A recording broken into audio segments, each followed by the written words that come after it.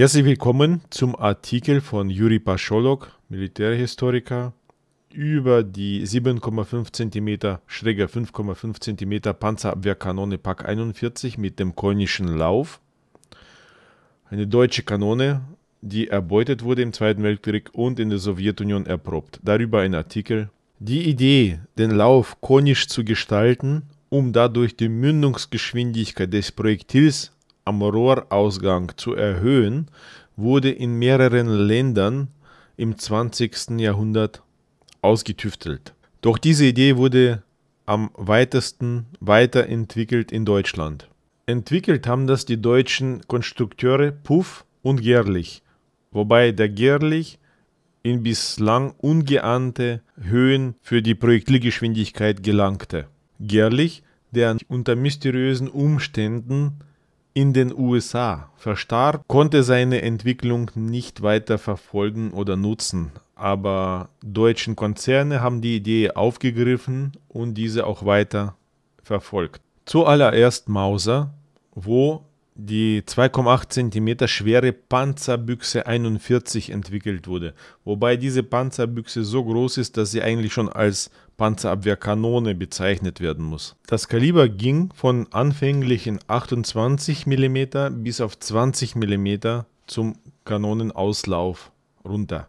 Größere Systeme nach Gerlich seinem Prinzip haben die Firmen Krupp und Rheinmetall entwickelt und im Endergebnis hatte die Firma Rheinmetall die leichte Panzerabwehrkanone 4,2 cm Pak 41 erschaffen, die ein Kaliber von 42 auf 28 mm hatte. Und sie wurde in einer kleinen Serie gebaut. Es gab eine Ausschreibung für ein größeres System zwischen Rheinmetall und Krupp. Und Krupp hat diese Ausschreibung gewonnen mit ihrer 7,5 cm Pack 41 und diese hatte ein Kaliber von 75 mm auf 55 mm zum äh, Rohrausgang.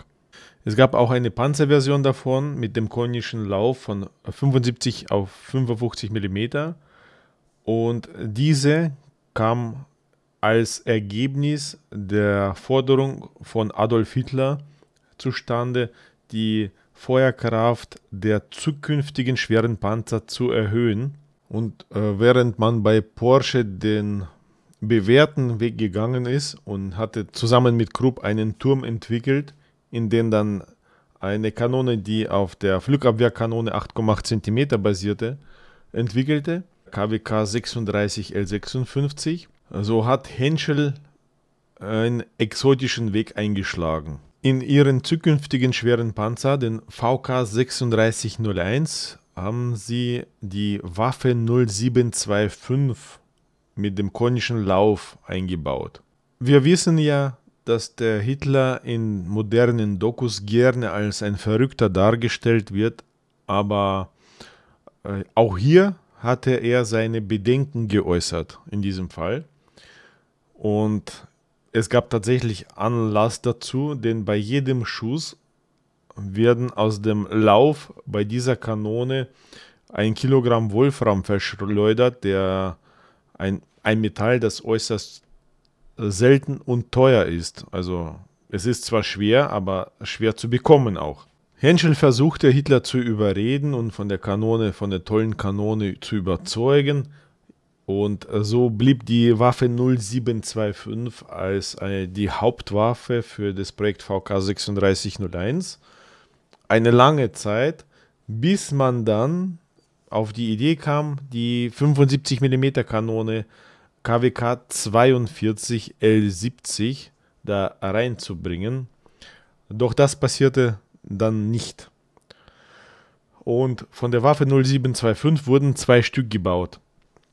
Doch sie wurden nicht in den Turm dieses VK 3601 Projektes reingebaut.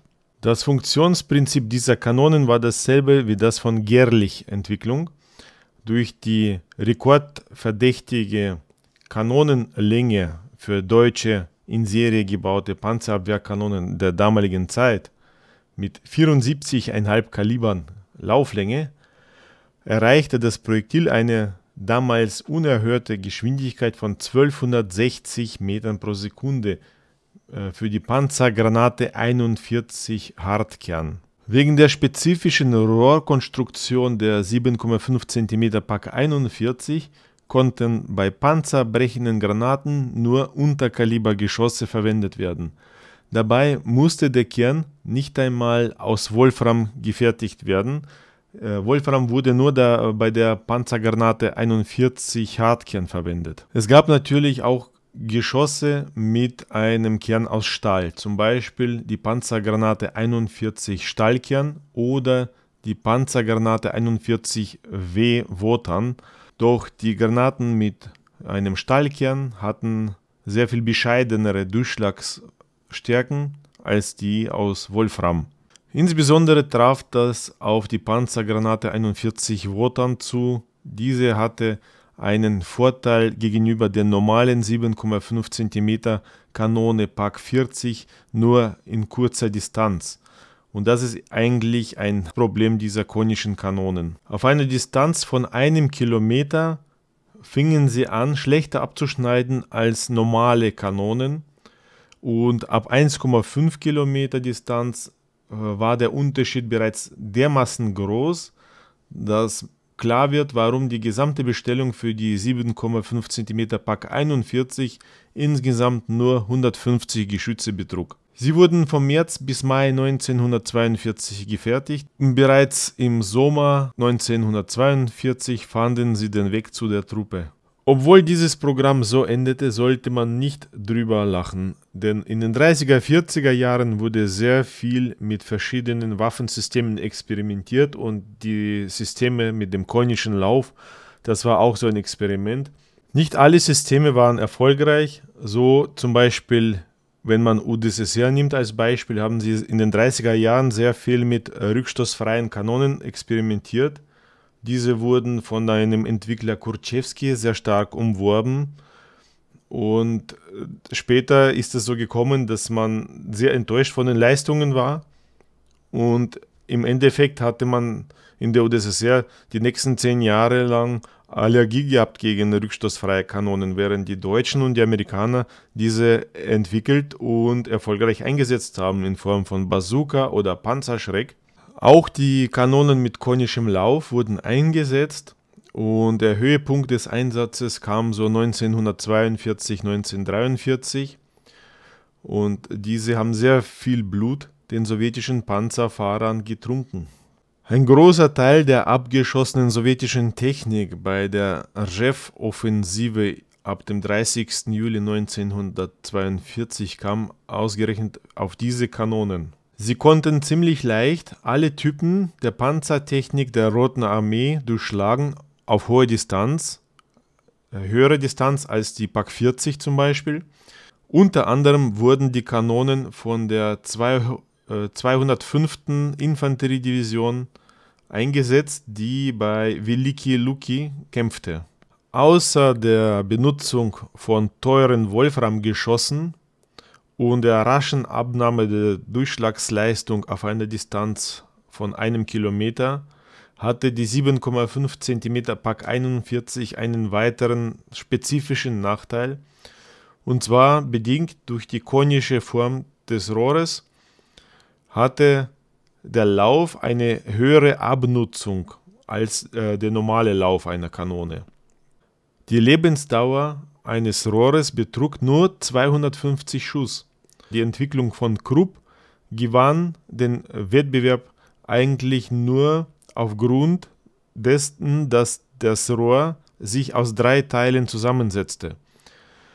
Und dadurch konnte man die Sektion, die sich am meisten verschließen hatte, austauschen, schnell austauschen und äh, somit Kosten sparen. Doch es wäre leichtsinnig zu glauben, dass man genügend Ersatzteile für das Rohr vorrätig hatte, denn bei intensiven Gefechtsführung hatte man die 250 Schuss sehr schnell erreicht. Und deswegen gingen die Kanonen reihenweise kaputt.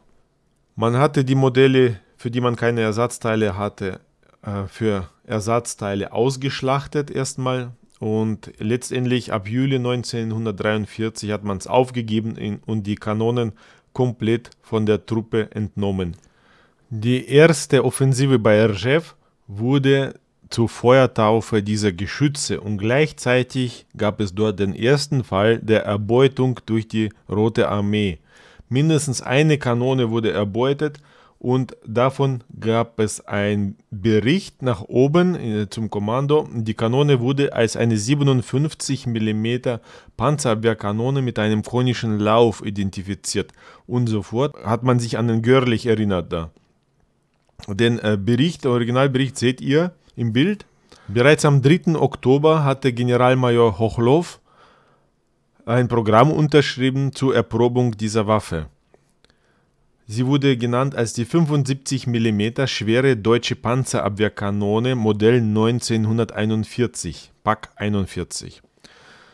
Und außer der Kanone hatte man sechs Schuss äh, Panzerwehrgranaten. Man hatte zwar etwas mehr erbeutet, aber ein Teil davon ging für Forschungszwecke drauf. Es wundert nicht, dass die Kanone als schwer bezeichnet wurde, denn sie wog im Gefechtszustand 1400 Kilogramm, was für eine Panzerabwehrkanone nicht wenig ist. Doch die 7,5 cm Pak 40 war nochmal um 100 Kilogramm schwerer.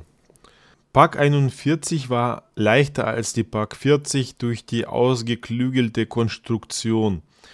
Das Schild war auch ungewöhnlich, hatte eine besondere Konstruktion. Es bestand aus zwei Panzerplatten je 7 mm Dicke. Zwischen den Panzerplatten war etwas Luft und die Platten wurden miteinander verbunden. In der Theorie durch die Konstruktion aus zwei Panzerplatten konnte man die äh, Schilder nicht mal aus nächster Nähe mit einer Gewehrkugel durchschlagen. Am Testgelände kam die Waffe am 22. Oktober 1942 an, samt der Munition. Äh, dabei war unbekannt, wie stark das Rohr bereits verschlissen war. Die Entwickler der Kanone hatten scheinbar keine leichten Wege gesucht, denn die Waffe hatte nicht das standardmäßige Zielfernrohr 3x8, das auf alle deutschen Panzerabwehrkanonen verbaut wurde, angefangen mit der PAK 38. Diese Kanone hatte ein Panoramavisier, äh, SFL ZF1. Für Divisionskanonen war das ziemlich normal, dass da ein Panoramavisier verwendet wurde, doch nicht für eine Panzerabwehrkanone. Also wenn da beim Direktbeschuss zum Beispiel das Visier äh, beschädigt wird, dann hat man gar keine Möglichkeit mehr, die Kanone anzurichten.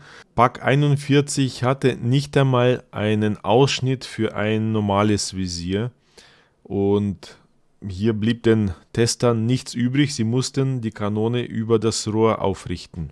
Die ersten fünf Tage hat man die Kanone erstmal zerlegt und komplett wieder zusammengebaut, um die Konstruktion zu verstehen. Entsprechend dem bestimmten Versuchsprogramm sollten drei Schüsse ausgeführt werden aus einer Distanz von 1000 Meter, um die Mündungsgeschwindigkeit und andere Werte ermitteln zu können. Und weitere drei Schuss sollten der Bestimmung der Durchschlagsleistung dienen. Geschossen wurde offenbar mit der Panzergranate 41 Hartkern mit dem Wolframkern und Scheinbar war das Rohr bereits etwas verschlissen, denn man hat nur eine Mündungsgeschwindigkeit von 1190 Metern pro Sekunde erhalten. Wegen dem fehlenden Visier hatte man den ersten Schuss zu kurz gesetzt, um 300 Meter. Notiert hat man, dass die Kanone sehr stabil bleibt beim Schuss und hüpft nur ein bisschen hoch. Jedoch hatten die Richtmechanismen ein äh, großes Spiel. Bei der Ermittlung der Durchschlagsleistung ist man dann auf weitere Probleme gestoßen. Zuerst hatte die erforderliche Panzerplatte gefehlt, die hätte eine Dicke von 120 mm haben sollen. Deswegen hat man stattdessen eine 45 mm dicke Platte genommen, die an eine 100 mm dicke Platte angelehnt wurde. Beide Platten waren 1,2 x 1,2 Meter groß und hatten verschiedene Härtungsgrade. Sie wurden unter einem Winkel von 30 Grad angestellt. Dabei hatte die 100 mm dicke Platte um bis zu 25 mm Durchbiegung gehabt.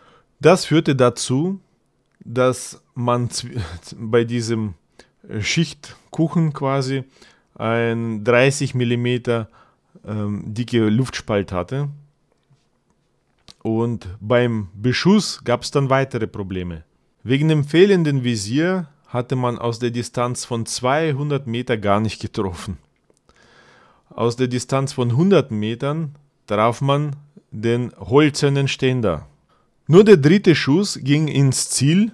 Dieser Schuss wurde aus der Entfernung von 75 Meter gemacht.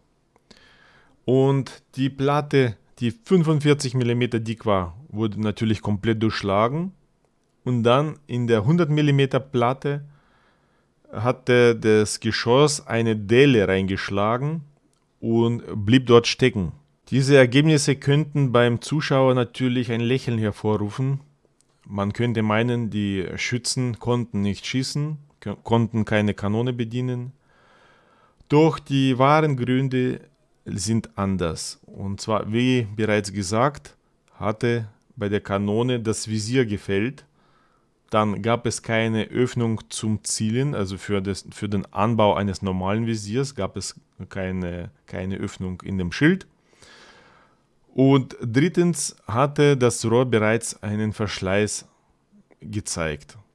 Und durch weitere Schüsse ging der Verschleiß noch weiter nach oben, weswegen sich auch das Verhalten des Projektils mit jedem Schuss änderte. Die gleichen Probleme hatten nämlich die Truppenteile, die diese Kanonen eingesetzt haben. Und nach Meinung der Spezialisten von der Kommission konnte diese Kanone in jedem Fall aus 75 Meter eine 120 mm dicke Platte bei einem Winkel von 30 Grad durchschlagen. In den Informationsblättern wurde angegeben, dass die Kanone aus 500 Meter sogar 195 mm Panzerstahl durchschlagen könnte. Und aus einem Kilometer konnte sie angeblich 170 mm durchschlagen. In der Wirklichkeit ist das ein Fehler, denn 198 mm konnten aus 100 Meter durchschlagen werden und 172 mm aus 500 Meter. Ähm, auf ähm, einen Kilometer Entfernung konnte immer noch 140 mm durchschlagen werden und weiterhin sank die Durchschlagsleistung rapide ab. Im Weiteren kam die Kanone auf die Trophäenausstellung in Moskau und im weiteren Verlauf der Kampfhandlungen konnten sogar weitere 7,5 cm Pak 41 erbeutet werden. Das gab Anlass für die Erstellung einer Beschreibung. Auf der Basis dieser Beschreibung wurde eine kurze Anleitung erstellt und dort wurde auch das Visier beschrieben, wie man das einsetzen könnte. Es wurden auch die Munitionstypen dargestellt, aber nur die Panzergranate 41 Hartkern und die Sprenggranate. Ob die erbeuteten Pak 41 bei der Roten Armee eingesetzt wurden, ist offen. Also haben die Sowjets bereits im Juli 1943 ein eigenes Projekt einer sogenannten Bikaliber, also Doppelkaliber genannten 70-50 mm Panzerabwehrkanone IM-1 vorgestellt. Diese basierte auf der Lafette der 45 mm Panzerabwehrkanone M6.